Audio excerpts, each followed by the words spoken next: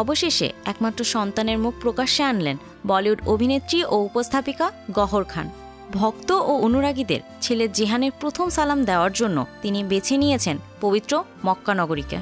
গহর ও তার স্বামী জায়েদ দরবার সৌদি আরব গিয়েছেন ওমরা পালন করতে। একমাত্র ছেলেকেও সেখানে সঙ্গে নিয়ে যান তারা। বাবা মা হওয়ার পর এবারই প্রথম ওমরা করলেন এই জুটি। আর সেখানে পবিত্র কাবা শরীফের সামনে থেকে ফ্রেমবন্দি হয়েই ছেলের প্রথম সালাম পৌঁছে দেন তারা। ছেলে জেহানকে কোলে নিয়ে উঁচু করে ধরে আছেন গহর। অভিনেত্রী সঙ্গ দিচ্ছেন জায়েদ। হাস্যোজ্জ্বল ছেলের সাথে তোলা ছবিটিতে তিনজনকেই আনন্দঘন মুহূর্তে দেখা গেছে। নিজের অফিসিয়াল সোশ্যাল মিডিয়া হ্যান্ডেল থেকে অভিনেত্রী ছবিটি পোস্ট করেন। সাথে তিনি ক্যাপশনে লেখেন, সর্বশক্তিমানের ঘর থেকে আমাদের ছোট্ট রাজপুত্রের প্রথম সালাম গোটা পৃথিবীকে দিতে চেয়েছিলাম। তিনি আমাদের পুত্রকে দেখে সন্তুষ্ট হবেন। আমিন। সকলকে অনুরোধ, আমাদের জেহানের জন্য ইতিবাচক দৃষ্টিভঙ্গি অব্যাহত রাখুন। ওকে ভালোবাসা এবং আশীর্বাদ দেওয়ার অনুরোধ করছি। সকলের জন্য রইল অনেক অনেক ভালোবাসা।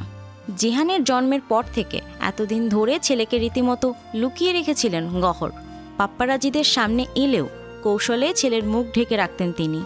তাদেরকে অনুরোধও করতেন যেন ছেলের চেহারা ক্লিক না করেন। অবশেষে হাইডেন্সিক গেম শেষ করে জেহানের প্রথম দর্শন দেওয়ার ছবিটি বেশ সাড়া ফেলেছে নেটিজেনদের মাঝে। মন্তব্যের ঘরে অনেককেই ইতিবাচক মন্তব্য করতে দেখা যাচ্ছে। এর আগে মক্কা থেকে একটি ভিডিও পোস্ট করেছেন গহর। ভিডিওতে মক্কায় বসে হঠাৎ আবেগ আপ্লুত হয়ে কাঁদতে দেখা গেছে এই প্রাক্তন বিগ বস বিজয়ীকে। একই ভিডিওতে ইফতারের জন্য স্ত্রীকে খেজুর আর পানি এগিয়ে দেন স্বামী জায়েদ।